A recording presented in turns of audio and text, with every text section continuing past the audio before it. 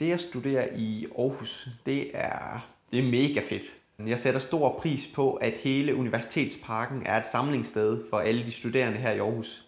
Og at faktisk hele Aarhus sådan er en studieby, fyldt med studieliv, gode muligheder for at komme til det ene og til det andet foredrag, hvor man, man let mødes på tværs af studieretninger. Og det er en fed måde at lære hinanden at kende og lære hele miljøet at kende på samtidig med, at man oplever den her faglighed, altså man oplever en interesse i at studere.